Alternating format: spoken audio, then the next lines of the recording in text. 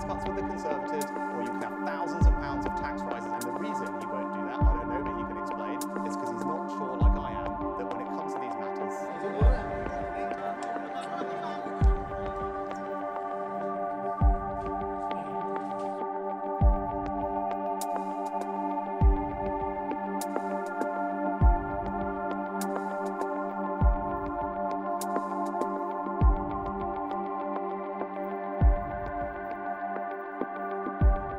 Headline finding was that compared to perhaps a lot of current anxiety over how AI could manipulate an election result, reassuringly, we haven't seen any clear evidence of that so far, for instance, comparing to polling data.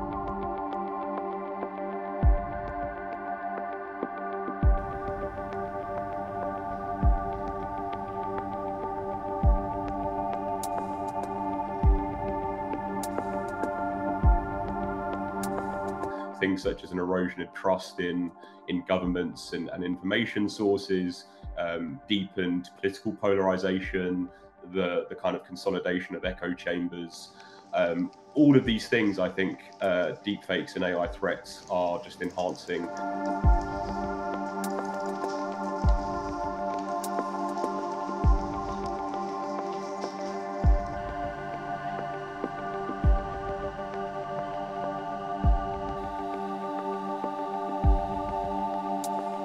Think everybody is at risk. Our traditional ways of experiencing knowledge, checking knowledge, have to change with technology. We can't just be like, oh, we saw it with our own eyes and therefore we believe it.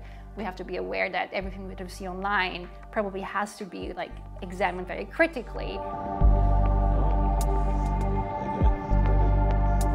But algorithms do that behind your back, right? They are in the back, reading you, learning you, figuring out what you like, what you don't like, what you would vote for when you buy things, when you don't buy things, and they tailor the world to you, but you don't know that. You think you have a shared reality with everybody, but you're sitting in a filter bubble. So you have the spread very fastly. You have um, information is really, really convincing and you're not even aware that you're being nudged. So that's a perfect storm for trying to meddle with elections, for example.